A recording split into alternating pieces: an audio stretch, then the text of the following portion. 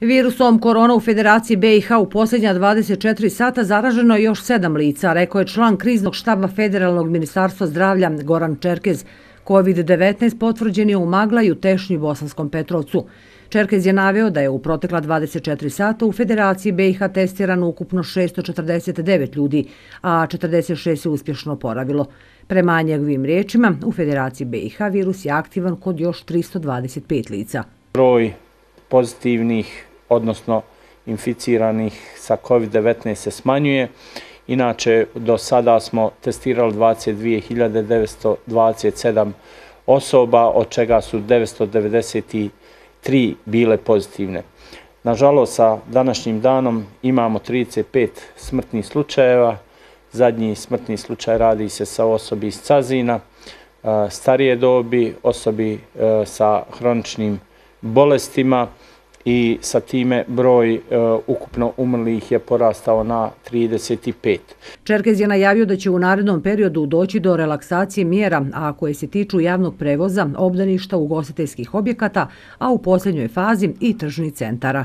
Planiramo sa 14. da e, se olabave određene mjere, odnosno da ih vratimo na neki način u prijašnje stanje. Govorimo o mjerama prije svega omogućavanja javnog gradskog prevoza i uopšte prevoza, zatim e, govorimo o mjerama otvaranja obdaništa, početak e, također rada stomatoloških ordinacija je na dnevnom redu i razmatranju, osim toga i određene sportske aktivnosti na otvorenom, kao i broj osoba koji može unutar zatvorenog prostora održavati određene aktivnosti. One što se u zadnje vrijeme posebno govori i e, razgovara, to je pitanje otvaranja kafe, barova, restorana.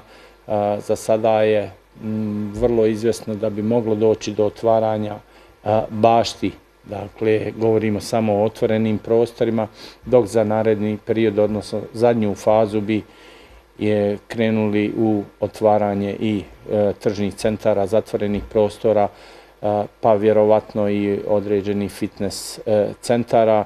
Na pitanje kada se može očekivati liberalizacija mjera u vezi sa otvaranjem granica, Čerkez je odgovorio da bi se to moglo desiti polovinom juna. Onako kako to i Evropska unija koji slušaju i koji prate te informacije mogu vidjeti, dakle negde sredinom juna bi se moglo očekivati određena vrsta liberalizacije. Ja moram reći što se ekonomije i privrede tiče, da već određene e, liberalizacije su donesene za osobe koje dolaze iz inostranstva po pitanju ekonomije koje će moći da uđu u Bosnu i Hercegovini pod posebnim uvjetima. Međutim, generalno gledajući e, i turistički operateri i svi E, ne planiraju nešto prije 15. juna. U cijeloj Bosni i Hercegovini do danas registrovano je ukupno 2106 slučajeva. Od tog broja oporavilo se 1109, a preminulo 111. Broj aktivnih slučajeva, dakle osoba koje se još vode kao zaražene, iznosi 886.